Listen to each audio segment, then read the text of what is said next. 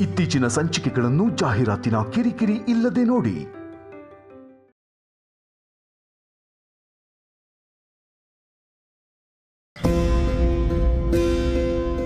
ಏನ್ರಿ?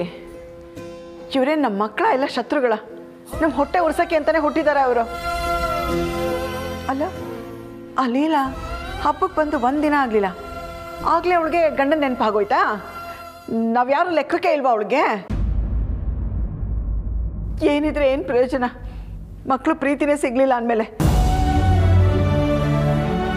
ಓಹೋ ಇದು ಬಡವ್ರ ಮನೆ ಅಂತ ಅವ್ರ ಗಂಡನ ಮನೆಗೆ ಹೊರಟ್ಬಿಟ್ಲ ಅವಳು? ಇದನ್ನ ಇಲ್ಲಿಗೆ ಬಿಡಲ್ಲ. ಫೋನ್ ಮಾಡಿ ಅವಳಿಗೆ ಸರಿಯಾಗಿ ಕ್ಲಾಸ್ ತಗೊಳ್ತೀನಿ ನಾನು. ಅಯ್ಯೋ ಕೌಸಲ್ಯ ಯಾಕೆ ಹೀಗೆ ಮಾತಾಡ್ತಾ ಇದೆಯಾ? ಮತ್ತಿನ್ನೇನ್ರಿ? ಅಡಿಯ ಮಗಳು ಇಬ್ರು ಹಬ್ಬದ ದಿವಸ ಎರಡೆರಡು ಸಲ ಮನೆಗೆ ಬಂದಿದ್ರು. ಒಂದೆರಡು ದಿವಸ ಮನೇಲಿ ಉಳ್ಕೊಂಡಿದ್ದಿದ್ರೆ ಚೆನ್ನಾಗಿರ್ತಿತ್ತಲ್ವಾ? ನಮಗೂ ಆಸೆ ಇರಲ್ವಾ? ಕೌಸಲ್ಯ, ಅದಕ್ಕೆ ನಿನ್ನ ದಡ್ಡಿ ಅನ್ನೋದು. ನೀನು ಹೇಳ್ತಾ ಇರೋ ತಪ್ಪು ಅನ್ನಲ್ಲ, ಆದರೆ ಅದನ್ನೇ ಸ್ವಲ್ಪ ಬೇರೆ ದೃಷ್ಟಿಯಿಂದ ನೋಡು. ನಿನಗೆ ಬೇರೆ ವಿಷಯ ಗೊತ್ತಾಗುತ್ತೆ. ಲೀಲಾ ಏಜೆ ಸರ್ನ ತುಂಬ ಹಚ್ಕೊಂಡ್ಬಿಟ್ಟಿದ್ದಾಳೆ. ಯಾವಾಗಲೂ ಅವರು ಕಣ್ಣೆದುರಿಗೆ ಇರಬೇಕು ಅಂತ ಅನ್ಕೋತಾ ಇದ್ದಾಳೆ. ಅದಕ್ಕೆ ಇಲ್ಲಿಂದ ಹೊರಟು ಅವ್ರ ಮನೆಗೆ ಹೋಗಬೇಕು ಅಂತ ಹಠ ಹಿಡಿದಿದ್ದಾಳೆ. ನಮ್ಮಂಥ ಹೆಣ್ಣು ಹೆತ್ತೋರು ದೇವ್ರ ಹತ್ರ ಏನು ಬೇಡ್ಕೋತೀವಿ ಹೇಳು? ನಮಗೇನು ಇಲ್ಲದೆ ಇದ್ರೂ ಪರವಾಗಿಲ್ಲ. ನಮ್ಮ ಮಗಳು ಅಳಿಯ ಚೆನ್ನಾಗಿದ್ರೆ ಸಾಕು, ಅನ್ಯೋನ್ಯವಾಗಿದ್ರೆ ಸಾಕು ಅಂತ ಬೇಡ್ಕೋತೀವಿ ತಾನೇ? ಇವತ್ತು ದೇವ್ರು ಅದನ್ನೇ ಈಡೇರಿಸಿದ್ದಾನೆ ಕಣೆ. ಅವರಿಬ್ರಿಗೂ ಒಬ್ರನ್ನೊಬ್ರು ಬಿಟ್ಟಿರಕ್ಕಾಗಲ್ಲ ಅಂದಮೇಲೆ ತಾವು ಖುಷಿ ಪಡಬೇಕು ತಾನೇ? ಅಯ್ಯೋ ಸುಮ್ಮನೆ ರೀ ಚಂದ್ರಶೇಖರ ಸ್ವಾಮಿಗಳೇ. ಊರಿಗೆ ಒಂದು ದಾರಿ ಆದರೆ ನಿಂದೆ ಒಂದು ದಾರಿ. ನೋಡಿದ್ಯಾ ನೋಡಿದ್ಯಾ? ಕಟ್ಕೊಂಡು ಗಂಡನ ಹತ್ರ ಹೇಗೆ ಮಾತಾಡ್ತೀಯಾ ಅಂತ. ಒಂದು ದಿನನಾದರೂ ನನ್ನ ಹತ್ರ ಪ್ರೀತಿಯಿಂದ ಮಾತಾಡಿದ್ಯೇನೆ? ನನ್ನ ಮಗಳನ್ನ ನೋಡು. ಕಟ್ಕೊಂಡು ಗಂಡ ಅಂದರೆ ಪಂಚ ಪ್ರಾಣ ಅದೆಂಥ ಹುಚ್ಚು ಪ್ರೀತಿ. ಏಜೆ ಸರ್ ಅಂದ್ರೆ ಲೀಲಾ ಜೀವನೇ ಕೊಟ್ಬಿಡ್ತಾಳೇನೋ. ಅಷ್ಟು ಹಚ್ಕೊಂಡಿದ್ದಾಳೆ. ಮಗಳನ್ನ ನೋಡಿ ಒಂದು ಸ್ವಲ್ಪ ಕಲಿಯೇ ಗಂಡನ್ನ ಪ್ರೀತಿಯಿಂದ ಹೇಗೆ ನೋಡ್ಕೊಳ್ಳೋದು ಅಂತ ಹೌದೌದು ಚಂದ್ರಶೇಖರ್ ಸ್ವಾಮಿಗಳೇ ಈ ವಯಸ್ಸಿನಲ್ಲಿ ನಮ್ಗೆ ಇದೆಲ್ಲ ಬೇಕು. ಸುಮ್ಮನೆ ಕೆಲಸ ನೋಡ್ರಿ.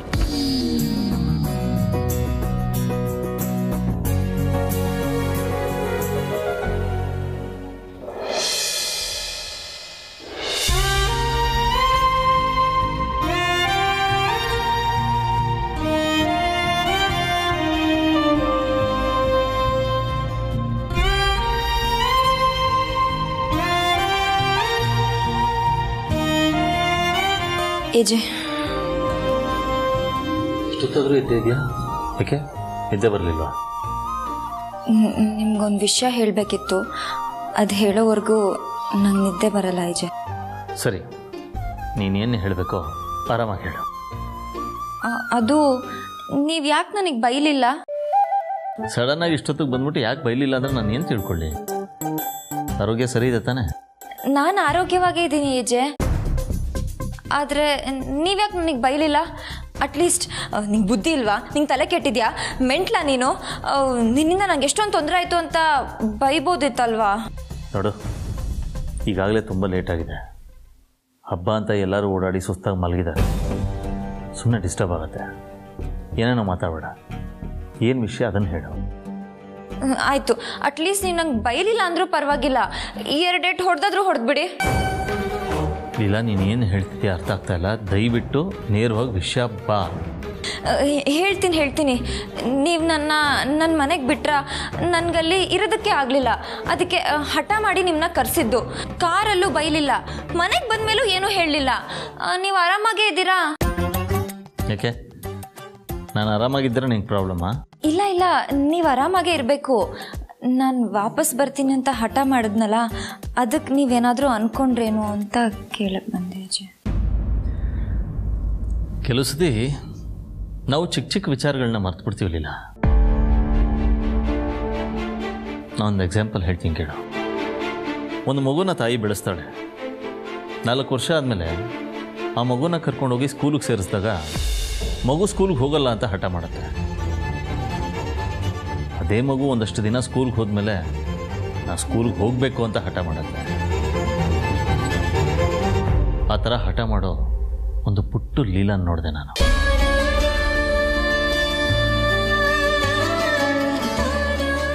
ಆ ಪುಟ್ಟು ಲೀಲಂಗೆ ಈ ಮನೇಲಿ ಇರಬೇಕು ಅಂತ ಇಷ್ಟ. ಈ ಮನೆ ಬೇಕು ಅಂತ ಅನ್ಸುತ್ತೆ. ಅದಕ್ಕೆ ಹಠ ಮಾಡ್ತಾಳೆ. ಅದಕ್ಕೆ ನಾನು ಬೇಜಾರು ಮಾಡ್ಕೊಳ್ಳೋದಾಗಲಿ ಇರಿಟೇಟ್ ಮಾಡ್ಕೊಳ್ಳೋದಾಗಲಿ ಮಾಡಬಾರ್ದಲ್ವಾ? ಒಟ್ಟಲ್ಲಿ ಈ ಮನೆಗೆ ಹಚ್ಕೊಂಡಿರೋ ಲೀಲನ್ ನೋಡಿದೆ ನಾನು. ಪ್ರಾಬ್ಲಿ ನಾನು ಯೋಚನೆ ಮಾಡೋದ್ರಲ್ಲೇ ಸ್ವಲ್ಪ ತಪ್ಪು ಮಾಡಿದ್ದೆ ಅನ್ಸುತ್ತೆ. ರಿಲ್ಯಾಕ್ಸ್ ಹೋಗಿ ಮಲ್ಕೋ. ಅಬ್ಬಾ ನಂಗೆ ಈಗ ಸಮಾಧಾನ ಆಯಿತು. Thank you so much AJ good night Leela?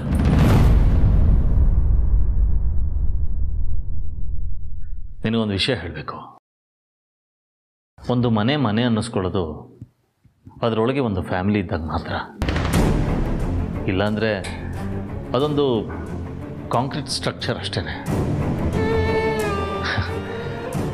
ಎಲ್ಲ ವಿಚಾರದಲ್ಲೂ ನೀನು ಈ ಮನೆಯವಳು, ನೀನು ಹೀಗಿರಬೇಕು, ಹಾಗಿರಬೇಕು ಅಂತ ಹೇಳ್ತಾ ಇದ್ವಿ ಆದರೆ ನೀನಿಲ್ಲ ಅಂದರೆ ಈ ಮನೆ ಕಂಪ್ಲೀಟ್ ಆಗಲ್ಲ ಅಂತ ಇವತ್ತು ನನಗೆ ಗೊತ್ತಾಯಿತು. And at the same time Leela ನೀನೊಂದು ವಿಷಯನ ತಿಳ್ಕೋಬೇಕು ಒಂದು ಮನೆ ಅಂದರೆ ಜನಗಳಿರ್ತಾರೆ ಒಬ್ಬೊಬ್ರದ್ದು ಥರ ಅಭಿಪ್ರಾಯ ಇರುತ್ತೆ ಡಿಫ್ರೆನ್ಸ್ ಆಫ್ ಒಪಿನಿಯನ್ ಇರುತ್ತೆ.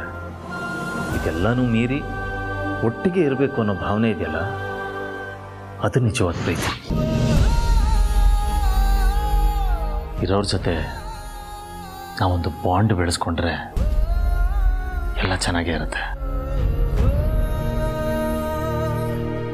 ಐ ಹೋಪ್ ನಿನಗಿದು ಅರ್ಥ ಆಯಿತು ಅಂತ ಅಂದ್ಕೊಂಡಿದ್ದೀನಿ ಅರ್ಥ ಆಯಿತು ಎಜೆ ಗುಡ್ ಮಲ್ಕೋ. ಗುಡ್ ನೈಟ್ ಗುಡ್ ನೈಟ್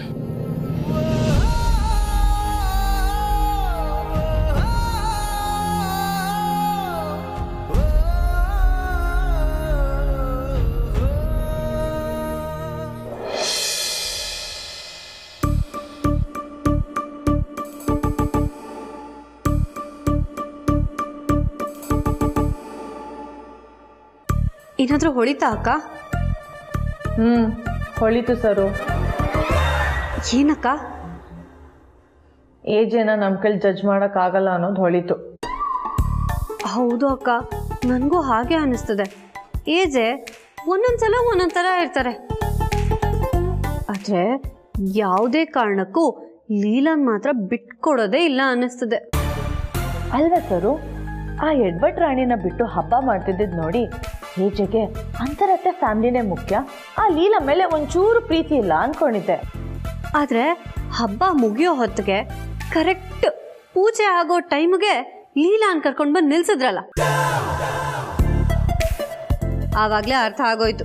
ಈ ವಿಕ್ರಮ್ ಛಾಯಾ ತರ ಎಷ್ಟು ಜನ ಬಂದ್ರೂ ಏಜೆಗ್ ಲೀಲಾ ಲೀಲಾಗ್ ಏಜೆ. ಇದು ಮಾತ್ರ ಬದಲಾಗೋದಿಲ್ಲ. ಇದೆಲ್ಲ ಆದರೂ ನನಗೊಂದು ಡೌಟ್ ಇದೆ.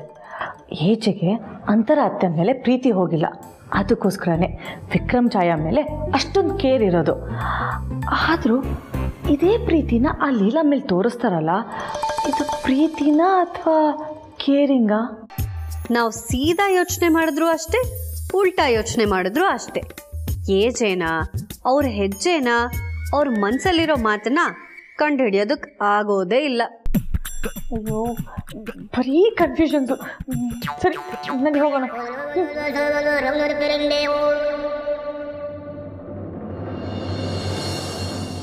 ವಿಶ್ವರೂಪ್? ವಿಶ್ವರೂಪ್? ಹಾಂ ಸರ್. ನನಗೆ ಅರ್ಜೆಂಟಾಗಿ ಒಂದು ಕೆಲಸ ಅದಕ್ಕೆ ಸರ್ ನೀವು ಈ ಕೆಲಸ ಮಾಡು ಅಂತ ಜಸ್ಟ್ ಬೆರಳಲ್ಲಿ ತೋರಿಸಿದ್ರೆ ಸಾಕು. ಶತಾಬ್ದಿ ಎಕ್ಸ್ಪ್ರೆಸ್ಗಿಂತ ಸ್ಪೀಡಾಗಿ ಆ ಕೆಲಸನ ಮಾಡಿ ಮುಗಿಸ್ಬಿಡ್ತೀನಿ. ಸಾರಿ ಸರ್ ಅದೇನು ಮಾಡ್ಬೇಕು ಹೇಳಿ ಸರ್ ಮಾಡ್ತೀನಿ. ಹಾಂ ಇವತ್ತು ಸಂಜೆಗೆ ಒಂದು ಸರ್ಪ್ರೈಸ್ ರೆಡಿ ಇದೆ.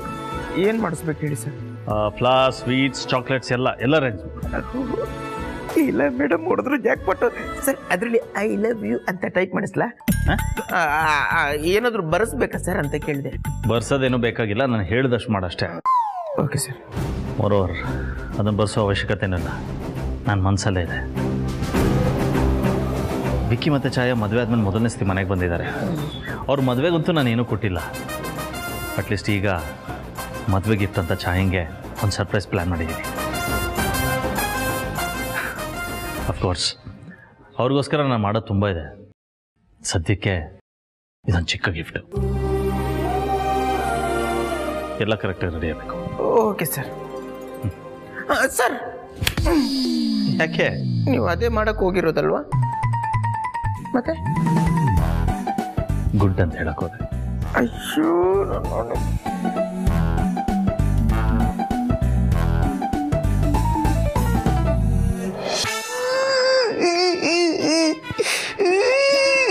ವಿಶ್ವರೂಪ್ ಯಾಕ್ರಿ ಅಳ್ತಾ ಇದ್ದೀರಾ? ಯಾರಾದ್ರೂ ಹೊಡೆದ್ರಾ? ಇಲ್ಲ. ಬೈದ್ರಾ? ಇಲ್ಲ. ಅಥವಾ ಡಾಕ್ಟರ್ ನೀವು ಮೂರೇ ತಿಂಗಳು ಬದುಕುದು ಅಂತ ಏನಾದ್ರು ಹೇಳಿದ್ರಾ? ಅಯ್ಯೋ ಇಲ್ಲ ಮೇಡಮ್ ಇಲ್ಲ. ಮತ್ ಯಾಕ್ರಿ ಹೇಳ್ತಾ ಇದ್ದೀರಾ? Boss madam boss. ಈಚೆಗೆ ಏನಾಯ್ತು ಅಯ್ಯೋ ಬಿಡ್ತಾನೆ ಮೇಡಮ್ ಅಂತ ಪುಣ್ಯಾತ್ಮನಿಗೆ ಏನು ಆಗ್ಬಾರ್ದು. ಏನು ಆಗಲ್ಲ. ನೋಡಿ ಮೇಡಮ್ ಒಂದು ವೇಳೆ ಆ ಯಮ ಕೋಣದ ಮೇಲೆ ಕೂತ್ಕೊಂಡು ಬಂದ್ರು ಕೂಡ ಆ ಕೋಣದ ಜೊತೆ ನಾನ್ ಫೈಟ್ ಮಾಡ್ತೀನಿ ಆದ್ರೆ ನಮ್ಮ ಬಾಸ್ಗೆ ಏನಾಗಬೇಕು ನಾನ್ ಬಿಡಲ್ಲ. ಏನಿವತ್ತು? ನಿಮ್ ಬಾಸ್ ಮೇಲೆ ಇಷ್ಟೊಂದು ಲವ್ ಮೇಡಮ್ ಈ ವಿಷಯ ಗೊತ್ತಾದ್ರೆ ನನಗೆ ಮಾತ್ರ ಅಲ್ಲ. ಬಾಸ್ ಮೇಲೆ ನಿಮಗೂ ಲವ್ ಆಗುತ್ತೆ ಮೇಡಮ್ ಮೇಡಮ್ ಮದುವೆಗಂತ ನಮ್ಮ ಬಾಸ್ ಗಿಫ್ಟ್ ತಂದಿದ್ದಾರೆ. ಅದನ್ನು ಸರ್ಪ್ರೈಸ್ ಆಗಿ ಕೊಡಕ್ಕೆ ಸರ್ಪ್ರೈಸ್ ಸೆಟಪ್ ಮಾಡೋ ಅಂತ ನನ್ನ ಹತ್ರನೇ ಹೇಳಿದ್ದಾರೆ. ತನ್ನವರನ್ನೇ ಮರೆಯುವಂತ ಈ ಕಾಲದಲ್ಲಿ ತನ್ನ ಹೆಂಡತಿ ಮನೆಯವ್ರನ್ನ ನೆನಪಲ್ಲಿ ಇಟ್ಕೊಂಡು ಅವ್ರ ಮದುವೆಗೆ ಸರ್ಪ್ರೈಸ್ ಆಗಿ ಗಿಫ್ಟ್ ಕೊಡ್ಬೇಕಂತ ಹೇಳ್ತಿದ್ದೀರಲ್ವ ಮೇಡಮ್ ಇಂಥ ಮನುಷ್ಯ ಎಲ್ಲಿ ಸಿಗ್ತಾರೆ? ಎಲ್ಲಿ ಸಿಗ್ತಾರೆ? ಸಿಗಲ್ಲ ಮೇಡಮ್ ಸಿಗಲ್ಲ. ಸಿಕ್ಕರೆ ಇದು ಒಂದೇ ಪೀಸ್, ಅದೇ ನಮ್ ಬಾಸ್, ಮಾಸ್ಟರ್ ಪೀಸ್. ಬರಲ್ಲ ಮೇಡಮ್ ಬಾಯ್. ಛೇ, ನಾನು ಎಷ್ಟು ಕೆಟ್ಟೋಳು. ಜೆ ರೇವತಿ ಮದುವೆಗೋಸ್ಕರ ಇಷ್ಟೆಲ್ಲ ಪ್ಲಾನ್ ಮಾಡಿದ್ರಂತ ನಂಗೆ ಗೊತ್ತೇ ಇರಲಿಲ್ಲ. ಏಜೆ ಎಷ್ಟು ಸ್ಟ್ರಿಕ್ಟೋ ಅಷ್ಟೇ ಸಾಫ್ಟು ಮನೇಲಿ ಇಷ್ಟೆಲ್ಲ ಪ್ರಾಬ್ಲಮ್ಸಿಂದ ನಾನು ರೇವತಿ ಮದುವೆ ಬಗ್ಗೆ ಮರ್ತೇ ಹೋಗಿದ್ದೆ. ಆದರೆ ಏಜೆ ನೆನ್ಪಿಡ್ಕೊಂಡು ಇಷ್ಟೆಲ್ಲ ಪ್ಲಾನ್ ಮಾಡಿದಾರಂದ್ರೆ ಏಜೆ ನಿಜವಾಗ್ಲೂ ಗ್ರೇಟು ಏಜೆ ರೇವತಿಗೆ ಸರ್ಪ್ರೈಸ್ ಕೊಡಬೇಕು ಅಂತ ನೆಕ್ಲೆಸ್ ತರಿಸಿದ್ದಾರೆ ನಾನು ರೇವತಿನ ಕರೆಸಿ ನೆಕ್ಲೆಸ್ ಹಾಕ್ಸಿ ಏಜೆಗೆ ಸರ್ಪ್ರೈಸ್ ಕೊಟ್ರೆ ಸೂಪರ್ ಅಲ್ಲ, ಅಳಿಯಂದ್ರು ಮದುವೆ ಮಾಡಿಸ್ತೀನಿ ಅಂತ ಹೇಳಿದ್ರು. ಅದಾದಮೇಲೆ ಮಾತೇ ಇಲ್ವಲ್ಲ? ಹಾಂ ಇಲ್ಲ ನಮ್ಮ ಸಮಾಧಾನಕ್ಕೆ ಏನಾದರೂ ಹಾಗೆ ಹೇಳ್ಬಿಟ್ಟು ಹೋದ್ರಾ? ಇಲ್ಲ ಇಲ್ಲ. ನಮ್ಮ ಅಳಿಯಂದ್ರಂದ್ರೆ ಯಾರು? ಏಜೆ ಇಟ್ಟು ಗುರಿ ಕೊಟ್ಟು ಮಾತನ್ನ ತಪ್ಪವರಲ್ಲ. ರೇವತಿಗೆ ಏನಾದರೂ ಸರ್ಪ್ರೈಸ್ ಕೊಟ್ಟರೆ ಸಖತ್ ಖುಷಿ ಆಗ್ತಾಳೆ. ಈಗಲೇ ಫೋನ್ ಮಾಡ್ತೀನಿ. ಆದರೂ ಯಾಕೋ ಸ್ವಲ್ಪ ಭಯ ಆಗ್ತಿದೆಯಲ್ಲ? ಅವರು ಮದುವೆ ಮಾಡಿಸ್ತೀನಿ ಅಂತ ಹೇಳಿದ ಮೇಲೇ ನಾನು ಹೋಗಿ ಈ ಕುಳ್ಳಿ ಮಂಜುಳ ಶ್ರುತಿ ಹತ್ರ ಎಲ್ಲ ಬಿಲ್ಡಪ್ ತೊಗೊಂಡು ಬಂದಿದ್ದೀನಿ. ಲಲಿತಾ ಮಹಲ್ ಪ್ಯಾಲೇಸು ಅಥವಾ ಪ್ಯಾಲೇಸ್ ಗ್ರೌಂಡಲ್ಲೇ ಮದುವೆ ಮಾಡಿಸ್ತಾರೆ ಅಂತ. ಏನಾದರೂ ಸ್ವಲ್ಪ ಮಿಸ್ ಹೊಡೆದು ಅಳಿಯಂದ್ರೆ ಏನಾದರೂ ಕೈ ಕೊಟ್ಬಿಟ್ರೆ ಅಯ್ಯೋ ಏನಪ್ಪ ಮಾಡಲಿ? ಇವಳಕ್ಕೆ ಫೋನ್ ಎತ್ತುತ್ತಿಲ್ಲ? ಇರಲಿ ಅಮ್ಮಂಗೆ ಫೋನ್ ಮಾಡ್ತೀನಿ.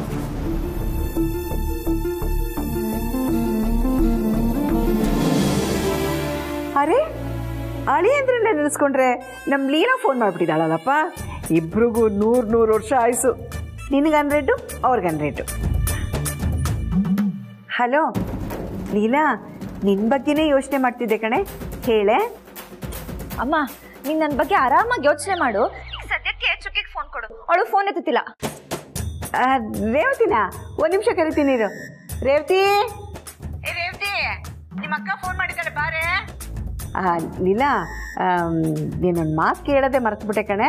ಅದ್ಯಾರೋ ಮನೆಗೆ ಬಂದಿದ್ದಾರೆ ಅಂದ್ರಲ್ಲ. ಓಕೆನಾ? ನಿನ್ಗೇನು ಪ್ರಾಬ್ಲಮ್ ಇಲ್ವಾ? ಅಮ್ಮ ಅದನ್ನೆಲ್ಲ ಆಮೇಲೆ ಮಾತಾಡೋಣ.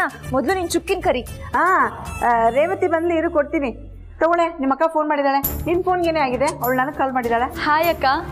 ಅಯ್ಯೋ ನೀನು ಹಾಯ್ ಬಾಯ್ ಎಲ್ಲ ಆಮೇಲೆ ಹಿಡ್ಕೊ. ಈಗ ಸದ್ಯಕ್ಕೆ ಬೇಗ ರೆಡಿಯಾಗಿ ನಮ್ಮ ಮನೆಗೆ ಬಾ. ಈಗ್ಲಾ? ಹ್ಞೂ ಈಗಲೇ ಬಾ ಅಂತಲೇ ಕರಿತಾ ಇರೋದು. ಬೇಗ ಹೊರಟು ಬಾ. ನಿಂಗೆ ಒಂದು ಸರ್ಪ್ರೈಸ್ ಇದೆ. ಹೌದಾ? ಸರಿ ಅಕ್ಕ. ಸರಿ ಸರಿ ಬೇಗ ಬಾ ಬೇಗ ಬಾ. ನಾನು ಈಗಲೇ ಹೊರಟು ಬರ್ತೀನಿ. ಏನಂತೆ? ಅರ್ಜೆಂಟಾಗಿ ಮನೆಗೆ ಬಾ ಅಂತ ಕರಲು ನಾನು ಈಗಲೇ ಹೊರಡ್ತೀನಿ ಮಾ. ಅಲ್ಲ ಏನು ಏನಿರ್ಬೋದು?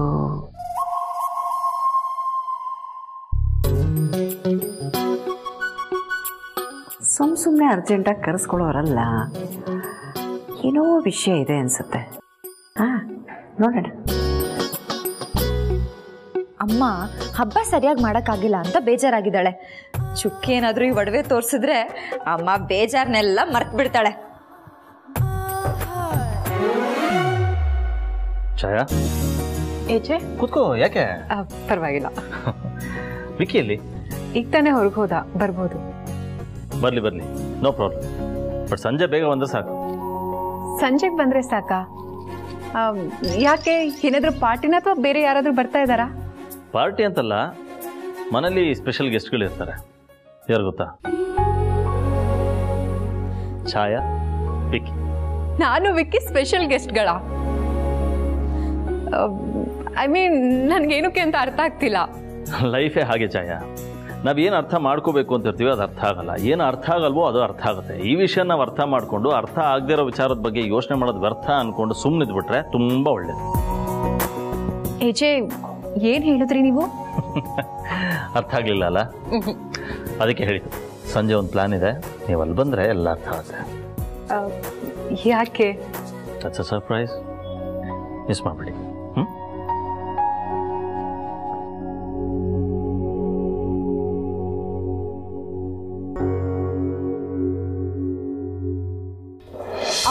ಟೈಮ್ ಆಯ್ತು ಹೋಗಿ ಬರ್ತೀನಿ. ಒಂದು ಐದ್ ನಿಮಿಷ ಇದೆ ನಾನು ಬಂದ್ಬಿಡ್ತೀನಿ.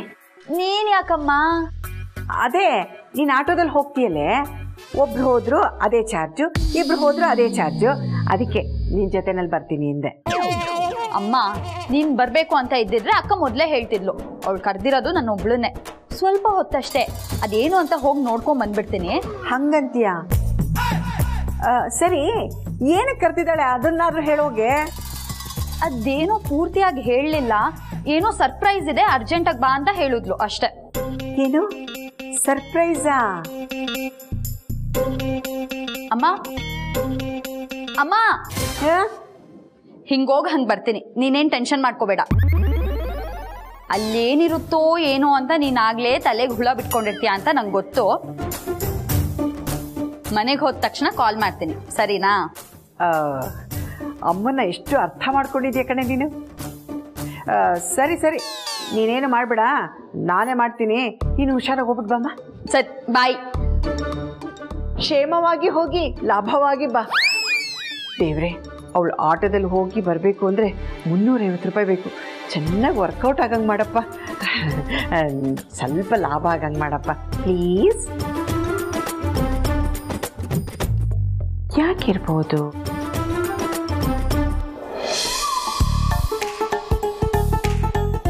ಅಜ್ಜಿ ಯಾವಾಗಲೂ ಹೇಳ್ತಾರೆ ನಿನ್ನ ಏಜೆನ ಒಂದು ಆ್ಯಂಗಲಿಂದ ಮಾತ್ರ ನೋಡಿದ್ಯಾ? ಅವ್ರಿಗೆ ಯಾರ ಮೇಲಾದರೂ ಪ್ರೀತಿ ಇದ್ದರೆ ಅವ್ರು ಅವ್ರಿಗೋಸ್ಕರ ಏನು ಬೇಕಾದರೂ ಮಾಡ್ತಾರೆ ಅಂತ. ನಾನು ಅವತ್ತೇ ಅರ್ಥ ಮಾಡ್ಕೋಬೇಕಾಗಿತ್ತು. ಆದರೆ ಇವತ್ತು ಅರ್ಥ ಆಯಿತು. ಏಜೆ ಎಷ್ಟು ಬ್ಯುಸಿ ಇರ್ತಾರೆ, ಅವ್ರಿಗೆ ಎಷ್ಟೊಂದು ಕೆಲಸ ಇರುತ್ತೆ. ಆದರೆ ಅಪ್ಪ ಅಮ್ಮಂಗೆ ಮಾಡಿರೋ ಆಣೆ ಪ್ರಕಾರ ಅವರು ರೇವತಿ ಮದುವೆ ಬಗ್ಗೆ ಯೋಚನೆ ಮಾಡ್ತಿದ್ದಾರೆ ಅವಳು ಮದುವೆ ಬಗ್ಗೆ ಪ್ಲಾನಿಂಗ್ ಮಾಡ್ತಾ ಇದ್ದಾರೆ ಏಜೆ ಇಷ್ಟು ಬೇಗ ರೇವತಿಗೆ ಸರ್ಪ್ರೈಸ್ ಗಿಫ್ಟ್ ತಂದಿದ್ದಾರೆ ಅಂದರೆ ಏಜೆ ನಿಜವಾಗ್ಲೂ ಗ್ರೇಟು. ಆದರೂ ಏಜೆ ನನ್ನ ಕರೆದ್ಬಿಟ್ಟು ಒಂದು ಮಾತು ಹೇಳ್ಬೋದಿತ್ತು. ಲೀಲಾ, ನಾನು ರೇವತಿಗೋಸ್ಕರ ಗಿಫ್ಟ್ ತಂದಿದ್ದೀನಿ ಅಂತ. ಹೋಗ್ಲಿ ಬಿಡ. ಹೌದು, ಗಿಫ್ಟಲ್ಲಿ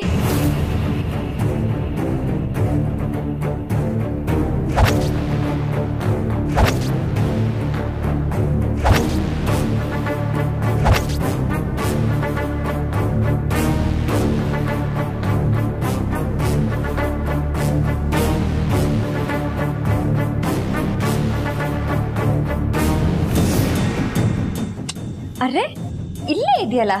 ಈ ಲೀಲಾ ಚಿಂದಂತ ಹುಡುಗಿ. ಅವಳು ಹುಡುಕಕ್ ಸ್ಟಾರ್ಟ್ ಮಾಡಿದ್ಮೇಲೆ ಚಿನ್ನ ಸಿಗ್ಲೇಬೇಕಲ್ವಾ? ಬೇಡ ಬೇಡ ಬೇಡ. ಇವಾಗಲೇ ಓಪನ್ ಮಾಡಿ ನೋಡೋದು ಬೇಡ. ಚುಕ್ಕಿ ಮುಂದೆನೇ ಓಪನ್ ಮಾಡ್ತೀನಿ. ಆಗ ಅವಳು ಖುಷಿ ಪಡ್ತಾಳೆ.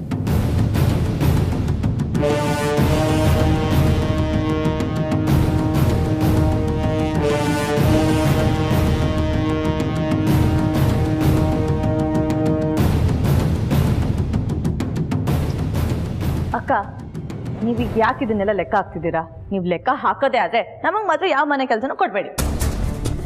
ಕೆಲಸ ಕೊಟ್ಟರು ನೀವು ಜವಾಬ್ದಾರಿಯಿಂದ ಮಾಡಲ್ಲ ಅಂತ ನನಗೆ ಚೆನ್ನಾಗಿ ಗೊತ್ತು ಲಕ್ಷ್ಮಿ.